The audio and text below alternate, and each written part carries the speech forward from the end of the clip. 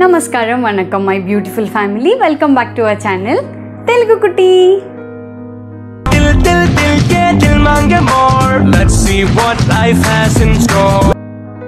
నా పేరు పూజ ఎలా ఉన్నారు అందరూ అని అడగకుండా అందరూ సంతోషంగా ఉండాలని మనస్ఫూర్తిగా కోరుకుంటున్నాను. సో ఈ రోజు ఈ వీడియోలో నేను మీ ముందుకి ఒక ఇన్ఫర్మేటివ్ టాపిక్ తోటి వచ్చాను. ఆ టాపిక్ ఏంటంటే మిషన్ వందే భారత్ గురించి మాట్లాడుకుందాం. ఈ వీడియోలో నేను మీకు మిషన్ వందే భారత్ అసలు ఎవరు స్టార్ట్ చేశారు ఎందుకు స్టార్ట్ చేశారు ఏమేమి ఎయిర్లైన్స్ ఆపరేట్ చేస్తాయి ఇలాంటి చాలా చాలా టాపిక్స్ అనేవి డిస్కస్ చేసుకుందాం.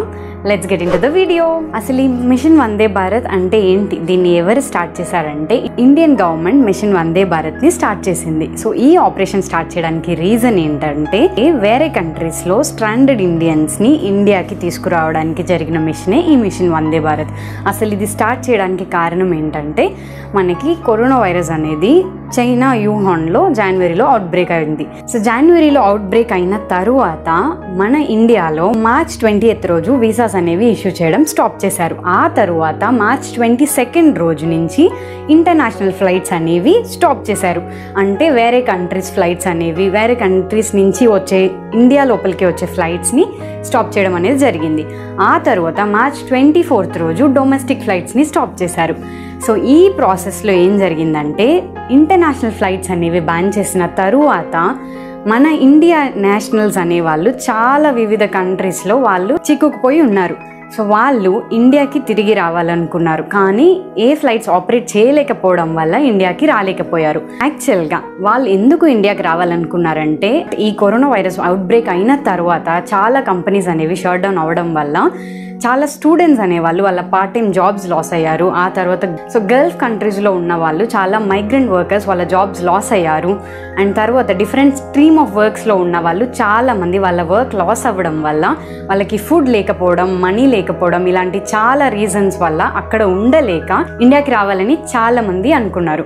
సో బట్ ఇంటర్నేషనల్ ఫ్లైట్స్ అనేవి ఆపరేట్ జరగకపోవడం వల్ల సో ఇండియాకి రాలేకపోయారు. సో వాళ్ళు అక్కడ ఉన్న ఎంబసీస్కి రిక్వెస్ట్ పెట్టుకోవడం జరిగింది. మేము ఇండియాకి రావాలనుకుంటున్నామని. దానివల్లే మన గవర్నమెంట్ అనేది మిషన్ వందే భారత్ని స్టార్ట్ చేయడం జరిగింది. దాంట్లో ఒక టూ ఎగ్జాంపుల్స్ చెప్తాను మీకు. నాకు చాలా బాధాకరంగా అనిపించిన ఎగ్జాంపుల్స్ ఏంటంటే యూకేలో ఒక ఎన్జిఓ వాళ్ళు ఈ అవుట్బ్రేక్ టైంలో ఫుడ్ సప్లై చేస్తుంటే ఆ క్యూలో నిల్చున్న హాఫ్ పర్సెంట్ కంటే ఎక్కువ మంది ఇండియన్ స్టూడెంట్స్ ఉన్నారనేది. వాళ్ళకంటే ఫుడ్ దొరకక ఆ ఎన్జిఓస్ లైన్లో నిల్చొని మరీ ఫుడ్ తీసుకోవాల్సిన అంత స్టేజ్ వచ్చింది అనేది చాలా బాధాకరమైన విషయం. ఆ తర్వాత ఇంకొక ఇన్సిడెంట్ ఏంటంటే ఫిఫ్టీన్త్ ఏప్రిల్ రోజు వచ్చిన ఒక న్యూస్లో ఏం చెప్పారంటే దుబాయ్లో ఎయిట్ హండ్రెడ్ డ్రైవర్స్ ఫుడ్ లేకుండా ఉన్నారంట. సో ఇలాంటి చాలా ఇన్సిడెంట్స్ అనేవి బాధాకరమైన ఇన్సిడెంట్స్. ఇవన్నీ చూసి గవర్నమెంట్ అనేది ఈ మిషన్ వందే భారత్ని స్టార్ట్ చేయడం అనేది జరిగింది. సో ఇది one of the largest evacuation airlift mission since nineteen ninety కువైట్లో అంటే కువైట్లో అంటే దీనికంటే ముందు కూడా కువైట్లో నైన్టీన్ నైన్టీలో ఇలాంటి ఒక ఎయిర్ లిఫ్ట్ ఆపరేషన్ అనేది జరిగింది. సో ఆ దాని తర్వాత సో ఆ నైన్టీన్ నైన్టీ అంటే త్రీ డెకెడ్స్ తరువాత జరిగిన ఎయిర్ లిఫ్ట్ ఆపరేషన్స్లో ఇది one of the largest evacuation airlift ఆపరేషన్గా record అయింది. సో ఈ మెషిన్ వందే భారత్ అనేది ఒక రిపాట్రియేషన్ ప్లాన్ ఆర్ ఫేజ్డ్ మేనర్గా జరిగింది. సో ప్రజెంట్ నేను ఈ వీడియో తీస్తున్న టైంకి ఫేజ్ సెవెన్ వందే భారత్ మెషిన్లో ఉన్నాం మనం. సో దీంట్లో బిగ్ రోల్ ప్లే చేసిన ఎయిర్లైన్స్ ఏంటి అంటే Air India and Air India subsidiary Air India Express so మీకు ఒక డౌట్ రావచ్చు ఇక్కడ. ఎందుకు ఎయిర్ ఇండియా గ్రూప్ మాత్రమే ఈ మిషన్ వందే భారత్ ఫ్లైట్స్ని ఆపరేట్ చేస్తున్నారు అని ఒక డౌట్ రావచ్చు. ఎందుకంటే ఎయిర్ ఇండియా గ్రూప్ అనేది గవర్నమెంట్ ఎయిర్లైన్స్ అనమాట సో అందుకే ఎయిర్ ఇండియా గ్రూప్ వాళ్ళు ఈ మిషన్ వందే భారత్ ఫ్లైట్స్ అనేవి ఆపరేట్ చేస్తున్నారు. సో ఈ ఎయిర్ ఇండియా గ్రూప్ వాళ్ళు వేరియస్ సిటీస్ నుంచి వేరియస్ స్టాండర్డ్ ఇండియన్స్ని ఇండియాకి తీసుకురావడం అనేది జరిగింది. సో నేను ఫస్ట్ వీక్ అసలు స్టార్ట్ అయినప్పుడు ఏం జరిగింది అనే దాని గురించి మనం ఇప్పుడు డిస్కస్ చేసుకుందాం. సో ఫస్ట్ వీక్లో కంప్లీట్గా ఫస్ట్ వీక్లో సిక్స్టీ ఫోర్ ఫ్లైట్స్ అనేవి ఆపరేట్ చేశారు from twelve countries so twelve countries నుంచి సిక్స్టీ ఫోర్ ఫ్లైట్స్ని ఆపరేట్ చేసి ఆల్మోస్ట్ సిక్స్టీన్ థౌజండ్ ఇండియన్స్ని బ్యాక్ తీసుకురావడం అనేది జరిగింది. సో రిక్వెస్ట్ పెట్టుకున్న వాళ్ళు ఎంతమంది అంటే one lakh ninety thousand members request పెట్టుకోగా first వీక్లో సిక్స్టీన్ థౌజండ్ మెంబర్స్ని మాత్రమే తీసుకురావడం అనేది జరిగింది. ఎందు ఎందుకంటే మినిమం ఎయిర్లైన్స్ అనేవి ఆపరేట్ చేసి వాళ్ళని బ్యాక్ తీసుకురావడం అనేది జరిగింది. సో ఈ సిక్స్టీన్ థౌజండ్ మెంబర్స్కి ఎలా ప్రియారిటీ ప్రియారిటీ అనేది ఎలా ఇచ్చారు? ఆ ప్రియారిటీ ఏంటి అంటే గవర్నమెంట్ అనేది ఒక ప్రియారిటీ లిస్ట్ అనేది రిలీజ్ చేయడం అనేది జరిగింది. సో ఆ ప్రియా ఆ లిస్ట్ ప్రకారంగా ఎగ్జాంపుల్ ఎలా అంటే ప్రెగ్నెంట్ విమెన్ ఉంటే షార్ట్ టర్మ్ వీసా ఎవరిదైనా ఎక్స్పైర్ అయిపోతుంటే ఎవరైనా మైగ్రెంట్ వర్కర్స్ వాళ్ళ జాబ్స్ లాస్ అవుతే ఎవరిదైనా ఫ్యామిలీలో డెత్ అవుతే ఇలాంటి ఒక ప్రియారిటీ లిస్ట్ అనేది గవర్నమెంట్ ఇచ్చింది. సో ఈ లిస్ట్ ప్రకారంగా ఎవరికి ప్రియారిటీ ఉందో చూసి సో వాళ్ళకి టికెట్ అనేది ఇవ్వడం జరిగింది. జనవరిలో మనకి చైనాలోని వ్యూహాన్లో అవుట్ బ్రేక్ అనేది జరిగింది. ఆ తర్వాత ఇటలీలోని రోమ్లో కూడా అవుట్ బ్రేక్ అనేది జరిగింది. ఫెరీ ఫ్లైట్స్ అనేవి ఆపరేట్ చేశారు. ఫెరీ ఫ్లైట్స్ అంటే ఏంటంటే ఎంటీ ఫ్లైట్స్ అనేవి ఇక్కడి నుంచి వెళ్ళి అక్కడ ఉన్న ఇండియన్ నేషనల్స్ని రిటర్న్ తీసుకురావడం అనేది జరిగింది. ఆ తర్వాత ఫెరీ ఫ్లైట్స్ మాత్రమే కాకుండా ఎగ్జాంపుల్ చెప్పాలంటే ఇప్పుడు ఇక్కడ నుంచి ఒక ఫ్లైట్ రోమ్కి వెళ్తుంటే ఎవరైనా రోమ్ నేషనల్స్ ఇక్కడ చిక్కుపోయి ఉండి వాళ్ళు బ్యాక్ టు రోమ్ వెళ్ళాలనుకుంటే వాళ్ళని ఆ ఫ్లైట్లో తీసుకెళ్ళి అక్కడ ఉన్న మన ఇండియన్స్ని రిటర్న్ తీసుకొచ్చారనమాట సో సో అలా బయట కంట్రీస్ వాళ్ళని కూడా వాళ్ళని వాళ్ళ కంట్రీస్కి పంపివ్వడం అనేది జరిగింది. సో ఫస్ట్ వీక్లో నేను ఆల్రెడీ మెన్షన్ చేసినట్టుగా సిక్స్టీన్ థౌజండ్ మెంబర్స్ని ఇండియన్స్ని తీసుకొచ్చారు. అలానే three thousand five hundred and sixty two మెంబర్స్ని వేరే కంట్రీస్ వాళ్ళని వాళ్ళ వాళ్ళ కంట్రీస్కి పంపివ్వడం అనేది జరిగింది. ఇక్కడ మనం ఒక ఇంట్రెస్టింగ్ దాని గురించి మాట్లాడుకోవాలి. ఏంటి అంటే అక్కడ ఉన్న స్టాండర్డ్ ఇండియన్ నేషనల్స్ ఇక్కడికి రిటర్న్ రావడానికి ఫ్రీ ఆఫ్ కాస్ట్ అంటే కాదు. ప్యాసింజర్స్కి పర్ ఫ్లైట్కి ఒక ఫిక్స్డ్ అమౌంట్ అనేది ఛార్జ్ చేయడం జరిగింది. సో ఆ ఛార్జ్ అనేది బేస్డ్ ఆన్ ఏ కంట్రీ నుంచి రిటర్న్ వస్తున్నారు అనే దానిపైన ఫిక్స్ చేయడం అనేది జరిగింది. యుఎస్ నుంచి వస్తున్న వాళ్ళకి వన్ ల్యాక్ రూపీస్ ఛార్జ్ చేశారు. అదే గల్ఫ్ కంట్రీస్ నుంచి వచ్చే వాళ్ళకి టెన్ నుంచి ట్వంటీ థౌసండ్ వరకు ఛార్జ్ చేయడం అనేది జరిగింది. సో ప్యాసింజర్ నేను ఇది చెప్పేది ఫేజ్ వన్ టైంలో సో ఇప్పుడు నేను ఆల్రెడీ చెప్పినట్టుగా మనం ఫేజ్ సెవెన్లో ఉన్నాం కాబట్టి ఈ ఫేజ్ సెవెన్లో గవర్నమెంట్ అనేది కొన్ని హెల్త్ గైడ్లైన్స్ అనేవి రిలాక్స్ చేయడం జరిగింది.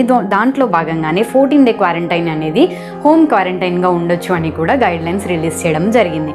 సో ఇంతసేపు ప్యాసింజర్స్ గురించి చెప్పుకున్నాం కదా ఇప్పుడు ఆ ఫ్లైట్స్ ఆపరేట్ చేస్తున్న క్రూ గురించి చెప్పుకుందాం. వాళ్ళకి ఎలాంటి రూల్స్ ఉంటాయి? వాళ్ళు ఏం పాటించాలి అంటే నేను ఇప్పుడు ఫస్ట్ ఫే ఫేజ్ వన్లో ఉన్నప్పుడు క్రూ గురించి చెప్తాను. ఫేజ్ వన్లో ఉన్నప్పుడు ఎలా అంటే వాళ్ళు కూడా ప్లేన్ బోర్డ్ అయ్యేటప్పుడు వాళ్ళకి PPE kit gloves masks shield sanitizers ఇవన్నీ ప్రొవైడ్ చేసి ఇవన్నీ ప్రొవైడ్ చేయడం అనేది జరిగింది.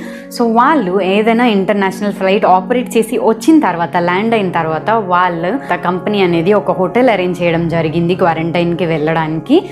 సో డైరెక్ట్గా హోటల్ క్వారంటైన్కి వెళ్ళాలి. సో అలా వాళ్ళకి ల్యాండ్ అయిన తర్వాత కోవిడ్ టెస్ట్ అనేది జరిపారు. ఆ- కోవిడ్ టెస్ట్ అనేది నెగిటివ్గా వస్తే వాళ్ళు ఇంటికి వెళ్ళొచ్చు. ఇంటికి వెళ్ళిన తరువాత కూడా మళ్ళీ ఎవ్రీ ఫైవ్ డేస్కి త్రీ టైమ్స్ అంటే ఫైవ్ డేస్కి ఒక కోవిడ్ టెస్ట్ అది నెగిటివ్గా వస్తే మళ్ళీ ఫైవ్ డేస్ తర్వాత ఒకటి కోవిడ్ టెస్ట్ అది నెగిటివ్గా వస్తే మళ్ళీ ఫైవ్ డేస్ తర్వాత ఒక కోవిడ్ టెస్ట్ అనేది జరిపారు. అదే ఒకవేళ హోటల్లో ఉన్నప్పుడు వాళ్ళు ల్యాండ్ అయిన తర్వాత హోటల్లో ఉన్నప్పుడు పాజిటివ్ వస్తే ఫోర్టీన్ డేస్ ఆ హోటల్లోనే క్వారంటైన్ ఉన్నారు. అండ్ ఫోర్టీన్ డేస్ క్వారంటైన్ అయిపోయిన తర్వాత మళ్ళీ ఒక కోవిడ్ టెస్ట్ జరుపుతారు. అది కనుక నెగిటివ్ వస్తే వాళ్ళు బ్యాక్ టు హోమ్ వెళ్ళొచ్చు. బ్యాక్ టు హోమ్ వెళ్ళిన తర్వాత కూడా ఇమ్మీడియట్గా ఫ్లయింగ్ ఉండదు. సో పైలట్స్కి నేను ఆల్రెడీ లాస్ట్ నా ప్రీవియస్ వీడియోస్లో ఒకసారి ఎక్స్ప్లెయిన్ చేశాను. పైలట్స్కి మెడికల్స్ అనేవి చాలా చాలా ఇంపార్టెంట్ సో వాళ్ళకి సెపరేట్గా కోవిడ్ మెడికల్స్ అనేది ఒకటి ఫామ్ చేయడం జరిగింది. మళ్ళీ పైలట్స్ ఆ మెడికల్స్ వెళ్ళి వాళ్ళు కంప్లీట్ మెడికల్ చెకప్ అయిన తరువాతే మళ్ళీ వాళ్ళు బ్యాక్ టు ఫ్లైయింగ్ అనేది వెళ్ళొచ్చు. సో ఈ ప్రాసెస్ అంతా జరగడానికి మినిమం వన్ మంత్ టైం అనేది పట్టింది. ఈ ఆపరేషన్స్ అనేవి బై ఎయిర్గా మాత్రమే జరుగుతున్నాయా అంటే నో. ఈ ఆపరేషన్ సో దీంట్లో వందే భారత్ మిషన్లో భాగంగానే సముద్ర సేతు ఆపరేషన్ కూడా స్టార్ట్ చేశారు. ఈ సముద్ర సేతు ఆపరేషన్లో సీ బై సీ రూట్లో కూడా మన స్టాండర్డ్ ఇండియన్ నేషనల్స్ని ఇండియాకి బ్యాక్ తీసుకురావడానికి స్టార్ట్ చేశారు. దీంట్లో భాగంగానే ఫస్ట్ టూ షిప్స్ అనేవి ఆపరేట్ చేశారు. ఆ టూ షిప్స్ ఏంటంటే ఐఎన్ఎస్ జలస్వా అండ్ ఐఎన్ఎస్ మగర్ని స్టార్ట్ చేశారు. ఇక్కడ నుంచి అంటే పోర్ట్ ఆఫ్ మాలే అంటే మాల్దీవ్స్ యొక్క క్యాపిటల్ పోర్ట్ ఆఫ్ మాలే నుంచి అండ్ దుబాయ్ నుంచి తీసుకురావడం అనేది జరిగింది. ఈ సముద్ర సేతు ఎందుకు స్టార్ట్ చేశారంటే ఎయిర్పోర్ట్స్ అనేవి షట్ డౌన్ అవ్వడం జరిగింది. కానీ చాలా కంట్రీస్లో ఎయిర్పోర్ట్స్ ఉన్నా లేకపోయినా వివిధ కంట్రీస్లో వాళ్ళకి పోర్ట్స్ అనేవి కంపల్సరీగా ఉంటాయి. సో ఆ తర్వాత ఐఎన్ఎస్ శార్దుల్ ఐఎన్ఎస్ ఐరావత్ ఇలా షిప్స్ని కూడా ఇండియన్ నేవీ అనేది ఆపరేట్ చేయడం జరిగింది. సో ఈ ఆపరేషన్ సముద్ర సేతు కూడా ఫేజెస్ రిపాట్రియేషన్ ప్లాన్ రూపంలోనే జరిగింది. సో ఈ repatriation ఫ్లైట్స్లో one of the saddest part ఏంటి అంటే ఇలాంటి రిపాట్రియేషన్ ఫ్లైట్స్ ఒకటి కాలికట్లో ఎయిర్ క్రాష్ అనేది అయింది. సో నేను ఆల్రెడీ చెప్పినట్టుగా ఈ రిపాట్రికేషన్ ఫ్లైట్స్ అనేవి ఫేజ్డ్ మేనర్లో జరిగాయి. సో ఫేజ్డ్ మేనర్లో అంటే ఏంటంటే ఫేజ్ వన్లో నేను చెప్పినట్టుగా ట్వెల్వ్ కంట్రీస్కి ఆపరేట్ చేశారు. అవి ఏంటంటే కువైట్ మలేషియా సింగపూర్ కతార్ ఇలాంటి డిఫరెంట్ కంట్రీస్కి ఆపరేట్ చేశారు. ఈ ఆ తర్వాత ఫేజ్ టూలో ఇంకా కొన్ని డిఫరెంట్ కంట్రీస్కి ఆపరేట్ చేశారు. అవి ఏంటంటే రష్యా ఉక్రెయిన్ స్పెయిన్ యూరోప్ ఇలాంటి ఇంకా కొన్ని కంట్రీస్ని ఫేజ్ టూలో ఆపరేట్ చేశారు. మొత్తంగా వందే భారత్ మిషన్లో ఎయిర్ ఇండియా గ్రూప్ అనేది three thousand eight hundred and twenty eight ఫ్లైట్స్ని operate చేశారు. ఆపరేట్ చేసి ఆల్మోస్ట్ సిక్స్ ల్యాక్స్ ప్లస్ ప్యాసింజర్స్ని ఇండియాకి తీసుకురావడం జరిగింది. అండ్ ఆల్మోస్ట్ ఫోర్ ల్యాక్స్ ప్యాసింజర్స్ని బయట కంట్రీస్ వాళ్ళని వాళ్ళ కంట్రీస్కి పంపివ్వడం అనేది జరిగింది. సో ఈ మిషన్ వందే భారత్ జరుగుతున్న టైంలోనే ఆల్టర్నేటివ్గా ఇండియన్ గవర్నమెంట్ అనేది ఎయిర్ బబుల్ సర్వీసెస్ని స్టార్ట్ చేశారు. అసలు ఈ ఎయిర్ బబుల్ సర్వీసెస్ అంటే ఏంటి? ఈ air bubble service mission Vande Bharat జరుగుతున్న టైంలోనే ఈ ఎయిర్ బబుల్ సర్వీసెస్ స్టార్ట్ చేయడానికి కారణం ఏంటి? అండ్ ఎలాంటి వీసాస్ ఉన్న వాళ్ళకి అనుమతి ఇస్తారు? ఏం కార్డ్ హోల్డర్స్ అనే వాళ్ళు ఇండియాకి రావచ్చు? ఇలాంటి విషయాలన్నీ నేను మీకు నెక్స్ట్ వీడియోలో ఎక్స్ప్లెయిన్ చేస్తాను. సో మీరేం చేయాలో తెలుసు కదా మై బ్యూటిఫుల్ ఫ్యామిలీ ఈ వీడియో మీకు నచ్చితే డెఫినెట్గా వీడియోని లైక్ చేయండి.